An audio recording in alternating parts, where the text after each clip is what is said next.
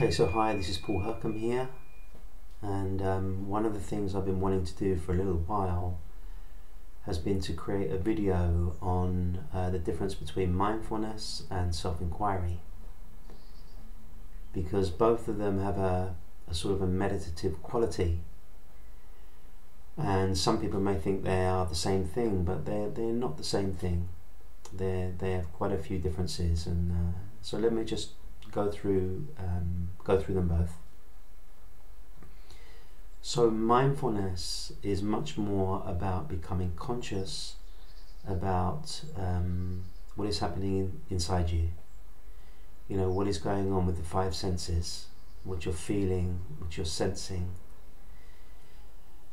um, what you're conscious of, what you're aware of, particularly um, aspects of the body and to, to really um, become refined in that. So you know there's a there's a real kind of subtlety of awareness inside you where you just say you just become very conscious about okay what you're feeling, what you're thinking, what you're aware of. And this very much helps um, you become more conscious and it helps bring the, the the consciousness into a much more refined state and a much more state of, uh, of stillness and of um, sort of being absorbed in a kind of just a kind of uh, resting inside yourself. What is the difference between mindfulness and self-inquiry is it does, self-inquiry doesn't stop there. So self inquiry begins by finding this still ground inside us and just, you know, letting everything come into a kind of still resting ground. Then from this still resting ground, we begin to ask the question who or what am I? When I say I, what am I referring to? Or to put it another way around, what is it that is perceiving all of these movements? From the most gross movement to the most subtle movement. What is it that knows all of these things? And what will usually happen is the first thing that will come is, well, that's me. You know, that, that, that is me. I'm, I am seeing all of these things. They're all happening inside of me.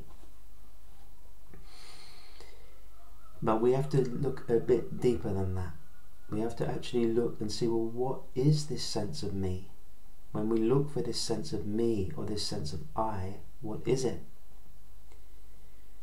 And as we begin to look into that, you know, deep, more deeply than just the kind of mental images about that or ideas about that, we begin to kind of look inside ourselves to see okay what is our center what is our core?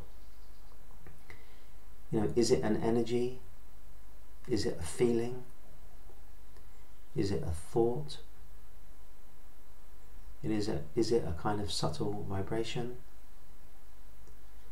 What is it at the very core of ourself now as we look inside ourself what do we find and uh, some may say well it's like a it's like an energy in me.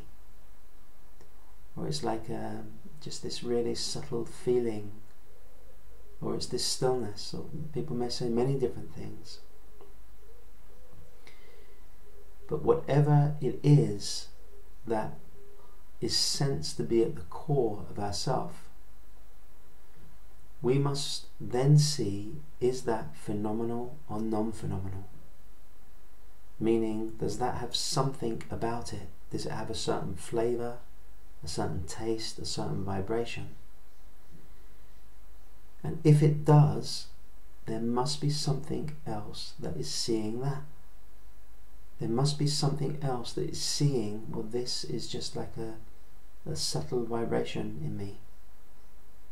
Then I might ask you, well, what perceives that? What knows that? And as you follow this inquiry inwards, wherever it comes to inside you, if that place has form, however subtle that is, then there must be something else seeing that.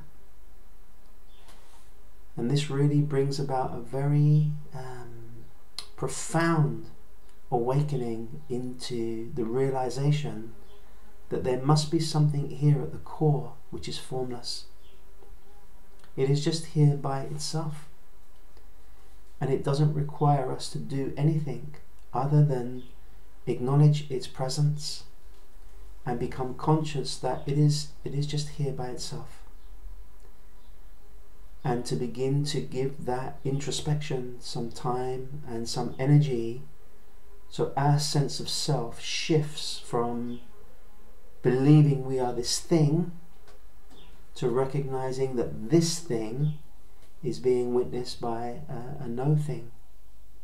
Yet that no thing is at the very core of ourself. And actually, it is realizing this no thing to be ourself actually gives us full permission for our humanness to really just be as it is. You know, we don't have to be perfectly spiritual all the time. We don't have to always be meditating. We don't have to always be, you know, eating the right foods or doing the right yoga or singing the right bhajans. We don't need to do that. If that comes out of us, that is okay, but we don't need that. What we need to, to know is who and what we are at our core. And when we know who and what we are at our core, then our human expression can just be as it is. And this is such a great relief, such a great freedom, such a great discovery. In fact, for me, it's the greatest discovery of all because it liberates us from what we thought we were and it delivers us into a place of natural simplicity and freedom. So, I hope this video um, helps you in your spiritual path and um, thank you for listening.